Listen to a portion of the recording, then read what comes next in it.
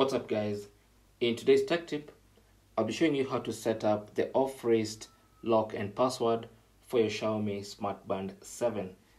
This is a lock mechanism that requires a password to access the smart band anytime it's off your wrist. So anytime you take off your smart band and place it somewhere, you or anybody else trying to access the smart band will require a password to get into the smart band. But as long as the smart band is on your wrist, then there's no password required to access it.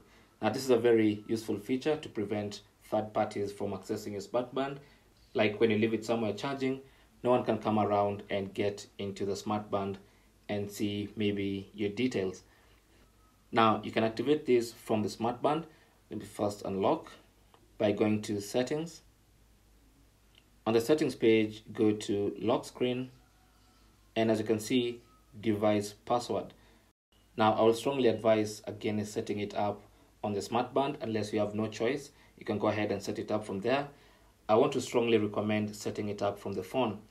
This is because it's easier to type the password you intend to on the phone and it's less likely to make a mistake than when you're typing on the smart band. So on your smartphone, go to the Zepp Life application and then go to profile. On the profile page, select your smart band and then go to band settings and then go to off wrist lock and password. Now here, as you can see, it's currently not set. Tap on it and define a password for your smart band. Let's go with uh, 1111 just for the sake of this video. Obviously, you're going to use a better password. So it's six characters, 111111 for me. And then once you enter your password the second time to confirm, tap on save.